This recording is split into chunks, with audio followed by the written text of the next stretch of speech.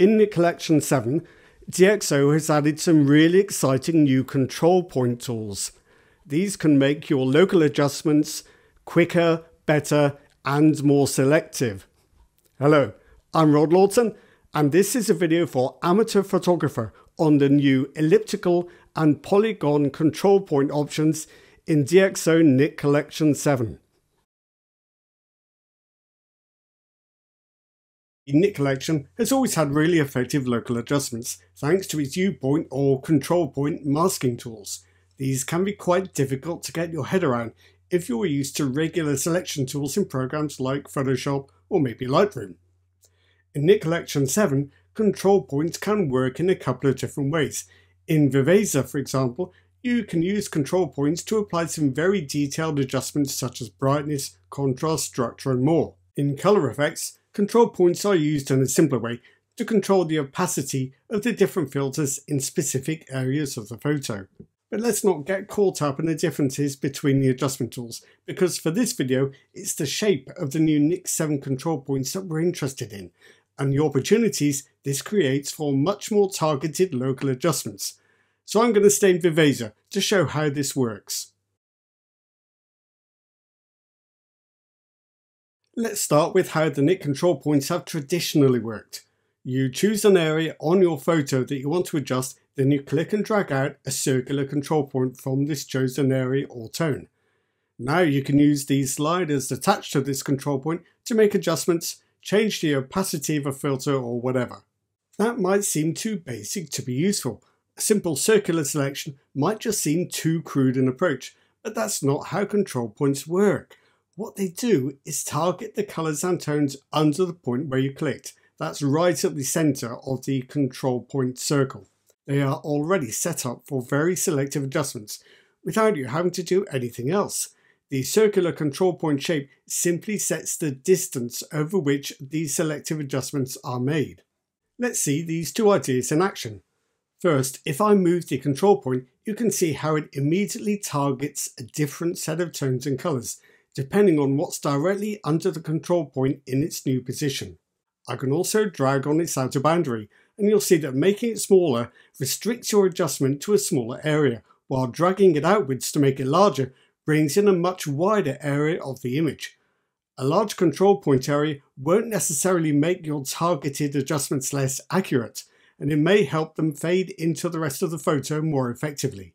Now, if you've got a subject with an irregular shape, and a larger control point makes your adjustment spill over a little too much, the traditional solution was to use a smaller control point size and then duplicate it to place it in different positions on the image. This works fine, but it's messy and leaves control points dotted around everywhere. That's where the new control point shapes in Nik Collection 7 come in. The simplest example is the new ellipse option. This is not a new tool, but an enhancement of the existing control point tool. You simply drag out a control point circle as usual with the regular control point tool, but now you'll find you can change the circle into an ellipse simply by dragging on any of the four handles around the edge. This alone makes control points far more effective for tall or narrow subjects. But it doesn't stop there. Once you have your control point shape, whether it's a circle or an ellipse, you can keep that shape but change the size simply by dragging on the outer edge between any of those four handles. Right away, I can create a much more effective elliptical control point shape for my photo of this wooden church in Norway. I can lighten the shadowed side of the church with minimal effect on the rest of the photo. But I can make this adjustment even more precise with the new polygon control point tool. This actually is a new tool, right alongside the regular control point tool. It works just like you might expect it to if you've used polygon selection tools in other programs like Photoshop or Elements. You click to add a series of polygon control handles to form an outline around the area you want to adjust, ending up back where you started to close the polygon. You'll see I've done this very quickly without any real attempt to follow the outline closely. In any other software this would be a no-no, but remember, the Nik control points are already selected. My adjustments will only affect the tones under the control point. All I've done with the polygon tool is more carefully define the area I want it to act within. Having said that, I have noticed with the new polygon control point tool that you can get more spillover of your adjustments into the surrounding areas. So it is a case of finding the best tool for the job for different photos. In this instance, I think I've got the best results with an elliptical control point shape. But while we're here, let's have a closer look at this new polygon control point tool.